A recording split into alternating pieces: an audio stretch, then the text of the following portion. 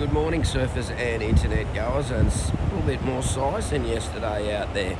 Yep, the swell's about a metre and a half to two metres on the open beaches, but that is on the sets. There's a little bit of a wait between them.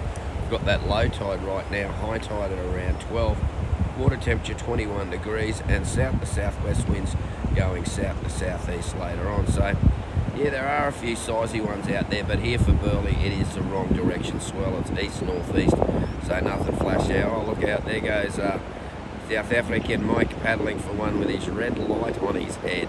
Yep, that's him out there with a red light on his head.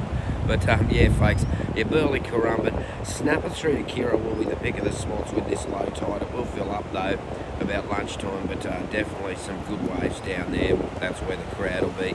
But Currumbin, Burleigh, that, that's going to be the go. Tweed Coast Point's worth a look as well. So hit your points for some fun. That'll be the best waves. We'll improve as this tide comes in. Catching the waves.